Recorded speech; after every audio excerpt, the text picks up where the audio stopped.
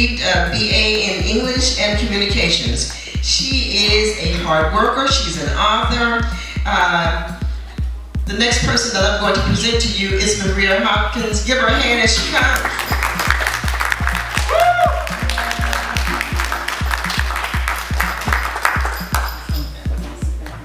Yeah, she uh, she she gave a little bit more. I told her she didn't have to give all that information. I say Maria, that's fine. Good, good morning. Well, yeah, it's still morning. Good morning, everybody. How is everyone? Good morning.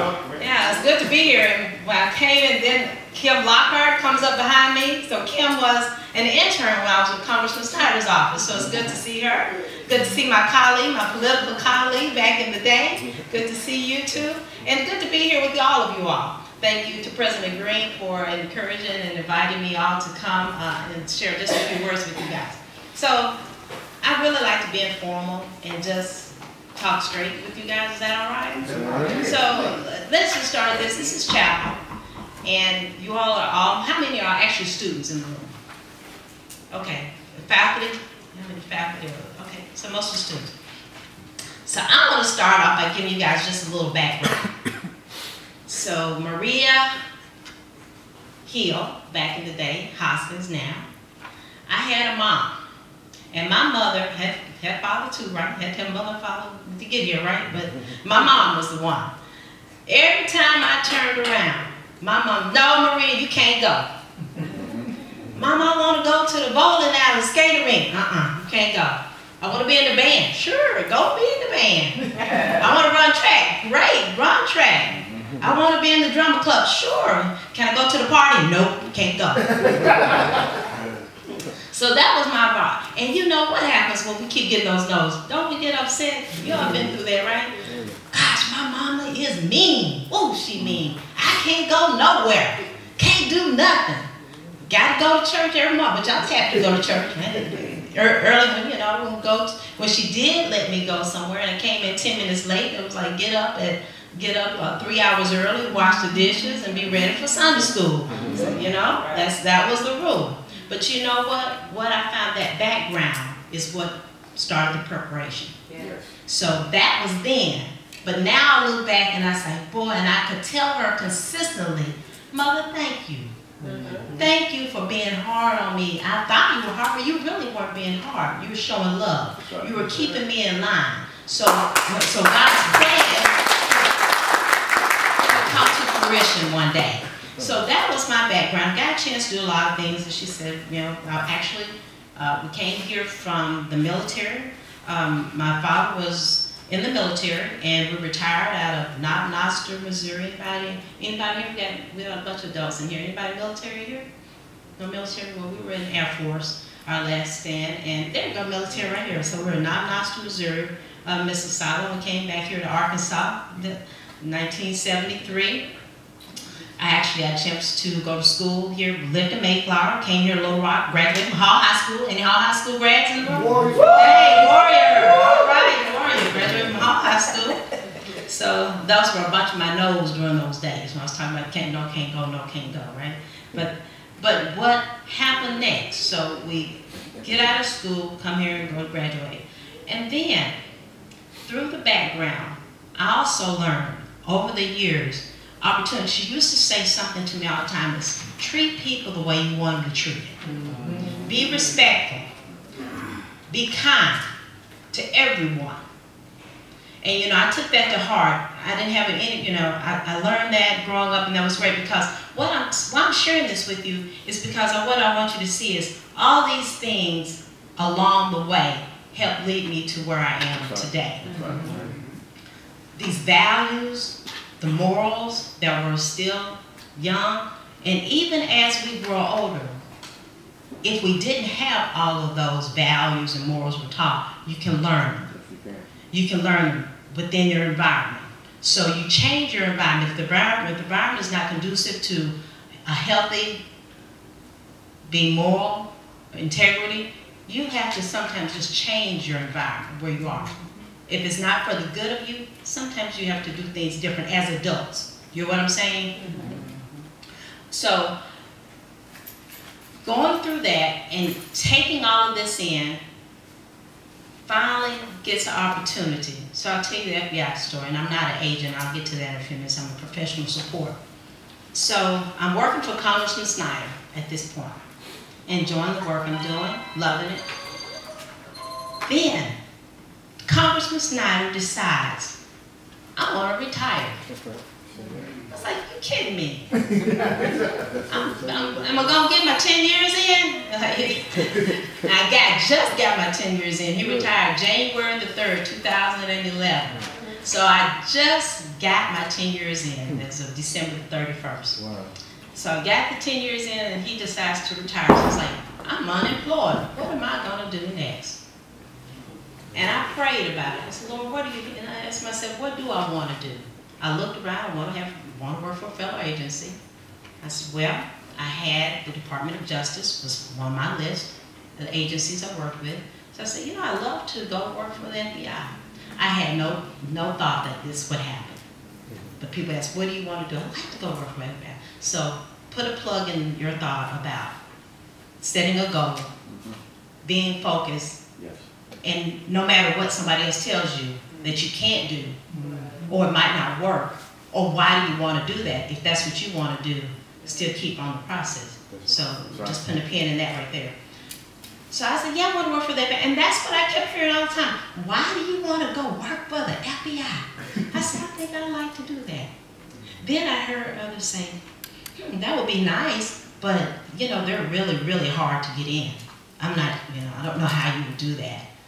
I was like, okay, I hear you, but that's not going to change my focus. I'm going to keep working this, and working it. So I applied. The application is long, telling you on that. But you know what? And I tell you how the devil can get in, in the mix of your, when you're really trying hard and you're getting focused, know the devil's going to distract you from what you're trying to do. That, that, that, that, that's a promise. That's a promise. The devil's going to try to distract you from what you got going on. So I'm applying for this FBI job uh, that I heard came was coming over. Uh, maybe about 10 o'clock at night. So, okay, everybody's in bed. My, my daughter, I have special needs daughter, she's in bed. My husband's asleep. So I'm applying, and guess what happens? It's storming and raining outside. I get down to probably the last page after I've been working on this about an hour. The lights go out. Bling, lights out. So lights come up. I said, hopefully this is safe. Hopefully it didn't get rid of everything gone, wiped out. So now it's late night. It's like oh my maybe 11:30 or so or 12. I'm like, do I really want to do this. Now this is the last day to apply also. Mm. I waited till the ninth hour. I waited late. So the other thing is try to try to act early.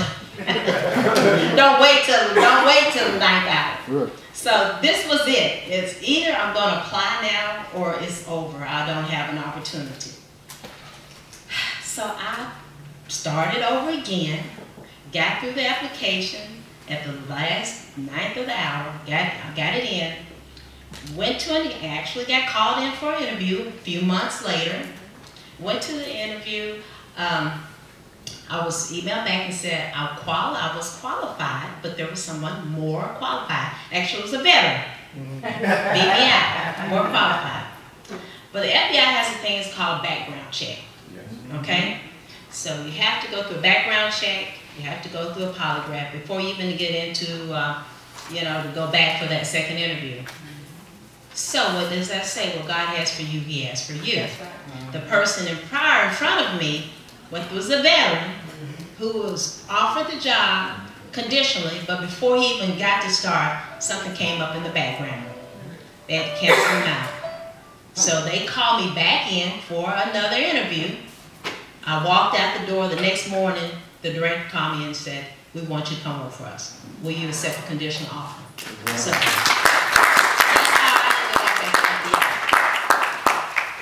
Um, so what I'm saying to you is that there are challenges in life. All the time there's a challenge. I encourage you all to, we all have challenges, but just keep fighting on through the mm-hmm. challenge. I encourage you because of jobs, so to give you a little bit more about jobs like the FBI, CIA, Secret Service, all of those jobs. There are some requirements, there's some basic requirements. Number one, For all of our jobs, you don't have to have a four-year degree, but most of those you do. Um, get your degree, if you can, if you don't get a certification, one certification we do accept is the uh, evidence technician. So if you are going into electronic technician and you have that certification, you can apply for our ET job, which is a, a wonderful job also.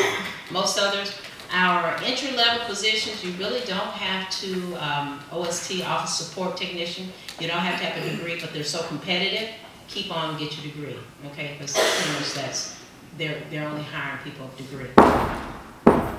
Making good choices. Um, we all make bad decisions, right? We all can, we all do something that we wish we, we didn't do. I, I think that's everybody. Nobody's perfect. What the FBI is not looking for, the perfect person, but they are looking that you don't use drugs. If there's any drug use, that knocks you out. Uh, if there's any drug use, say a marijuana over the past 10 years, if you've used marijuana within the past 10 years of application, that'll knock you out. If it's prior to 10 years, they will still look at you. So if you had some use, um, they will still look at you. The thing is that you tell the truth. Yes. That is it more so than anything. So if you if you apply, and I hope you will apply, I'll tell you a little bit more in a few minutes how to apply. Just be honest, tell the truth, because I guarantee they already know. They, they already know. So let me give you a little example about um, the background process that I went through.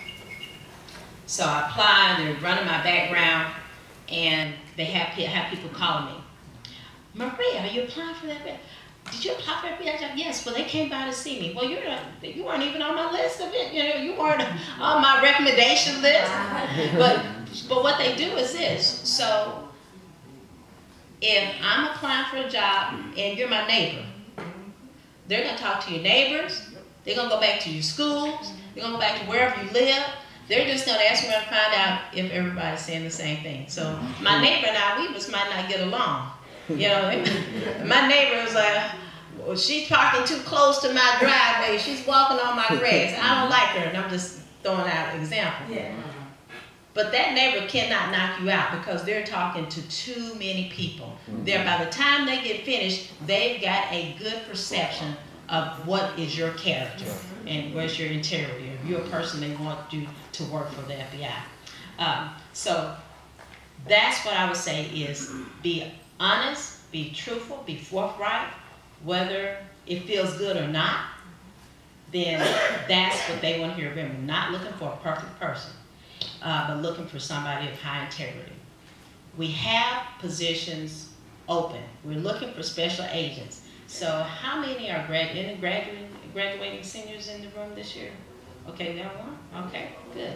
So it doesn't matter. There's so many jobs. There's so many different various jobs. And we're all over the country, all of the United States. We have legats in 76 uh, countries. So if you want to work international, there's opportunity. If you want to be an intern, they got back here looking for internship opportunities.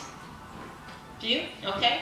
So we look for intern, minimum 3.0 GPA, and you can apply online. Application will come out about August. Uh, comes after August through October, I believe. Uh, 3.0, at least a sophomore, you can apply for internship opportunities. We also have collegiate hiring. Uh, anybody that's graduating or just recently graduated can apply for a job with us. Uh, and kind of like the same thing as internship, but you're actually working. I mean, you're, you're not an intern, you're actually a ground level employee. So that's just some, and I bought some flyers that Chaplain Williams has. So you can feel free to get with her and it gives you the information on where to go apply for FBI jobs. I encourage you to diversity. We we need a better diverse workforce. I will not tell you a story. We do not have it. We have we have right now we have almost 14,000 agents. Out of the 14,000 agents, we have about 20% minority agents out of the 14,000 agents. We have 39,000 employees. Um, we have a higher percentage of professional support staff, but they we're really seeking for agents, but we're seeking for all type of jobs, all types of jobs. And whether you are, don't think of it as that, well, I have to be in criminal justice. You have science, math, whatever your field is that you're graduating in, we have something for you. We have our own city, as, as I say. No matter what it is that you, whether it's art, because who would think FBI would look for art major? Of course, we do art crimes. That's right. You know, so uh, I, how many of you like to? Uh, we got swimmers in here, divers, people like animals and all this kind of stuff. So we have we have animals. We have divers. If you like to swim, you might be on the dive team. If you know how to fly a plane, we have planes. Uh, so really, it's open. Whatever your whatever your degree is, whatever you're interested in, we probably have a job for you. Uh, let, let me just throw something out here. Anybody can think of something that you say, oh no, of course they don't. Throw one out for me. Give me, a, anybody give me a suggestion. What do you think that the FBI does not have? It's hairstyles. Hairstyles. Girl, you about got me there. but I tell you what, I'll give you a true, uh, I'll give you a true scenario. Uh, last year, we actually had a young lady, uh, black female last year from Little Rock who went to special agent uh, training in Quantico. She got selected. She's at she's at Quantico, and her instructor, she had her hair red. Her instructor told her, "You got to go change your hair color. You got to do something with that hair. I'm gonna have to send you home." So in that case, who's the hairstylist? Who's that hairstylist, Regina, right there? In that case, she was looking for somebody that could style her hair at Quantico. so maybe on that day it would have been the great day to be there. I, I, you know, I can't think. You, you stumped me on that one. but anybody else got a, anybody else have a, a idea you want to think throw out there that maybe we don't have? Dancer. A dancer? Dancing. Pardon? Dental. Dentist. Oh no, we have doctors. We have many doctors. So if you're a doctor, uh, actually, I was a doctor that goes out on our SWAT calls. Every time SWAT goes out, the doctor goes out. Why, why would a doctor go out with SWAT? Who else I do? Somebody might get hit, exactly. So we hope that they don't. Most of the time they don't, but just in case we do. So we have lots, lots of dollars. So anyway, that's just a little bit about, uh, okay, okay. Um, that's just a little bit about some of the jobs that we have, how to apply for a job, what I would say to you as students here at Shorter College, and I think this, I relate it back to teaching at Philander, is number one, and always, all the time, keeping in mind that whoever you're networking with might be that person that you have to go back to for job referral mm-hmm. or reference. So I encourage my students all the time, they'll come to class, and I'm concerned, maybe mm-hmm. more than mm-hmm. just I'm here, and I have to remind them you're paying your money, whether you're borrowing it or you're paying out of your pocket. Get the most out of school that you can get out of school. Amen.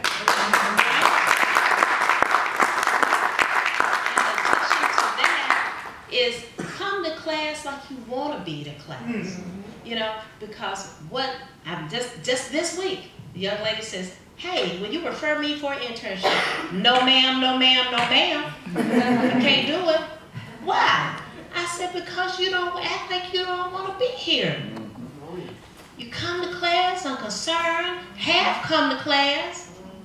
Now your grades not what they would be just if you come to class. So how can I refer you for a job if your attitude about school is what it is now. And that doesn't feel good as instructor. That doesn't feel good to me. I don't want to say that.